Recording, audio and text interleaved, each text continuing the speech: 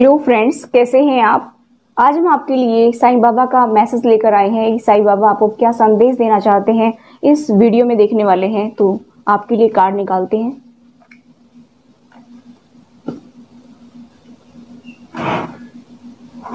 साईं बाबा कहते हैं कि पेशेंस रख करके चलिए। आप जल्दबाजी ना करें किसी भी चीज़ के लिए। थोड़ा सा इंतज़ार करिए और गोड के ऊपर ट्रस्ट रखिए।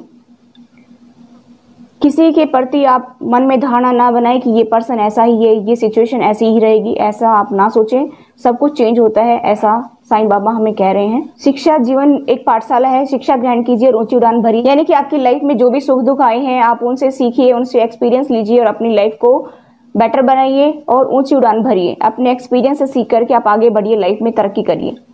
ऐसी ही वीडियोस और पाने के लिए आप मेरे चैनल को सब्सक्राइब कीजिए। Thanks for watching